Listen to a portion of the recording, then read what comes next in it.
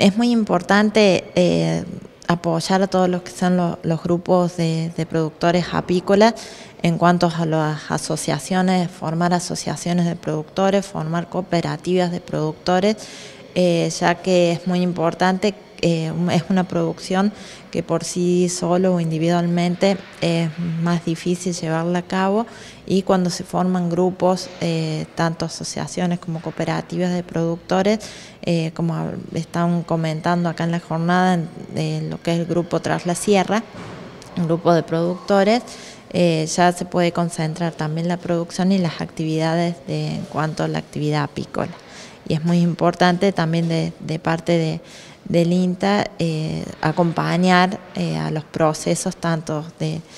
asociación y también a los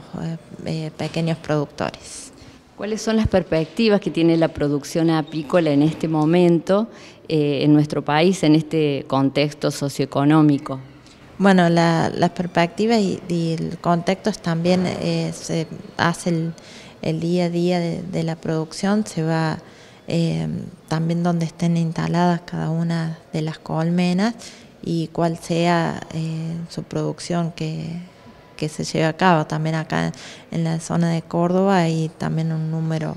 grande de productores apícolas. Laura, eh, ¿cuáles son los desafíos que tienen los productores que, que, se acercan al INTA? ¿Cuáles son las iniciativas que les proponen? Bueno, eh,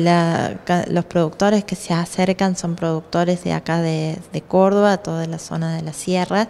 eh, que están en donde están todos los bosques nativos, los bosques en las zonas de, la sierra y sobre todo apoyo en cuanto a la conformación de grupos de asociaciones o grupos de, cooperativas para acompañarlos en ese proceso de asociación.